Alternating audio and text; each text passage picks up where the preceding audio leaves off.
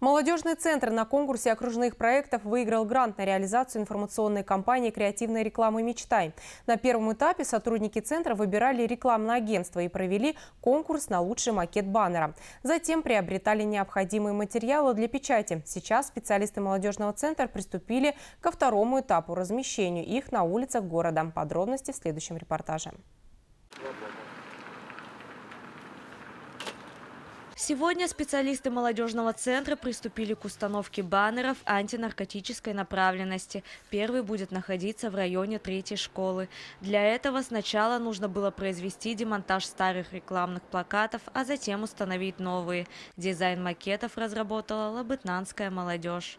В рамках информационной кампании мы провели дизайн-сессию. А, молодежь нашего города разрабатывала макеты а, вот этих вот баннеров мы учли все пожелания ребят и создали э, дизайн, который вот в, в итоге мы напечатали. Цель данного мероприятия – это профилактика незаконного потребления наркотических средств, психотропных веществ, наркомании и пропаганда здорового образа жизни. А мы лишний раз не только молодежи, но и жителям нашего города напоминаем, что наркотики – это в путь никуда. Установить баннер в районе детского сада «Волшебница» – следующая задача молодежного центра. Специалисты делают это для одной общей цели – пропаганды здорового образа жизни и формирования правильных ценностей у молодежи. На все про все у нас потратилось минут 30. Еще осталось нам установить три баннера, но это будет уже после.